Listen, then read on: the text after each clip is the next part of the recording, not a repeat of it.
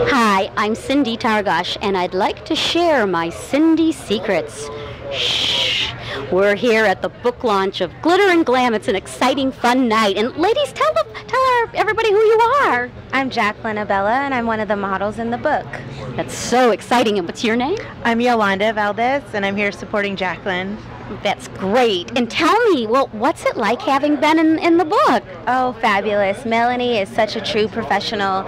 Everything she does is just off the top, you know, so it's really exciting, and I'm really happy for her. Oh, that is exciting. Uh, any little secret you might be able to share from the set that maybe people won't know?